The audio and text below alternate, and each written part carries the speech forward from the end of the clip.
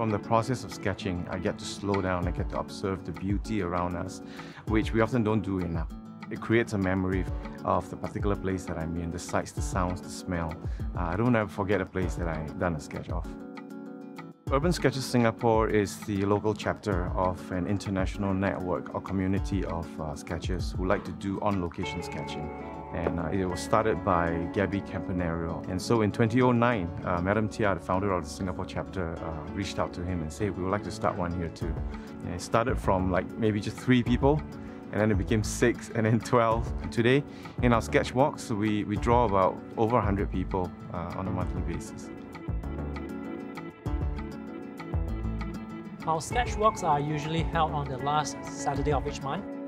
You can certainly sketch on your own, but it's way more fun to be sketching with friends because you can chit chat, you can look at what tools they are using, you can look at their sketches and get inspired. So it's just way more fun when you're with friends. The sketches, you know, have always been quite close to one another because we share a common uh, passion. Yeah, so it's a very close-knit community and very supportive uh, a very strong sense of uh, camaraderie uh, because of this thing that we do. Urban sketching is uh, more than a hobby. It's a community and it's a family. I chanced upon Urban Sketchers online and in the year 2013, I joined the group. It's very important to try different perspectives and viewpoints. Of course, you are sketching on the spot and decisions have to be made on the spot on what to sketch and what to omit. I personally want to include more foliage and greenery in my sketch.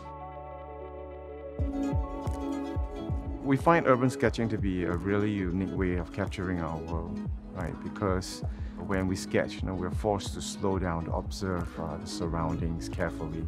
Uh, the way the light hits a building, the shadow it creates, Urban sketching can help you rediscover places that you have been to, places that you are familiar with, and allows you to actually see those places with new eyes.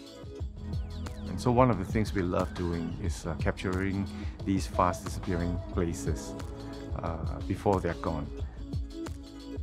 And so what we focus on is not just buildings. A lot of people think urban sketching is about, you know, sketching architecture and things like that. It's not. It's about capturing a moment, a time and space. One of the things I love doing is to capture people serving others in the background and putting them, you know, in the foreground uh, and tell their stories through my sketches. Since I discovered urban sketching, I find sketching outdoors to be very rewarding.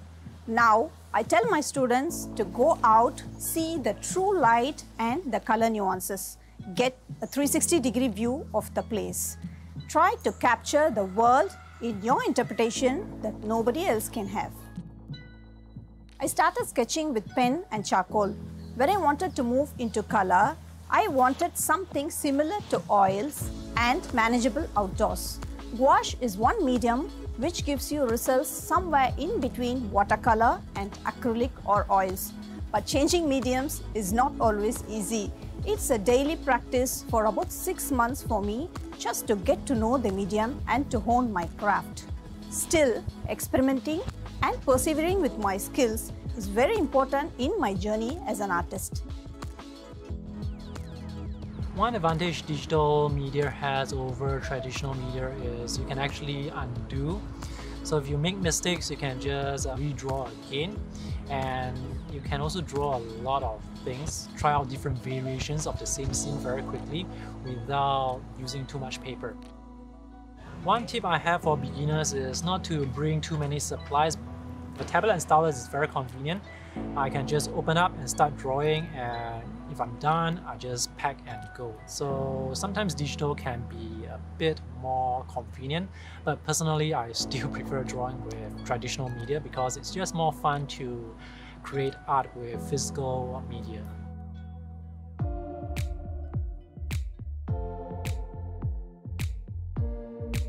It is always important to know the child's interest and don't be too technical in the start.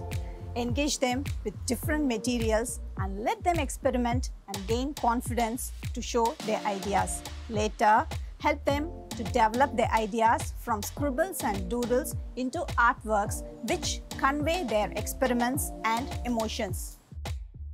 Every student will have their own style, so it's kind of pointless to compare one student with another. And teachers should also remind students not to be too critical about their art because sometimes making art is about enjoying the process, the creation process, and remind students not to be too dejected. The more you draw, the better you will get. I believe one of the key roles of a teacher is to create an atmosphere of curiosity and discovery. So when we have this mindset, they find uh, it less daunting. And so when we do it this way, we show them good works, good artworks done by good artists and inspire them. It is finding your own unique interpretation of the world around you. It's a way of capturing my world, the way I see it. It's like solving a puzzle, it's challenging, and when you see your sketch come to life on paper, it's very satisfying.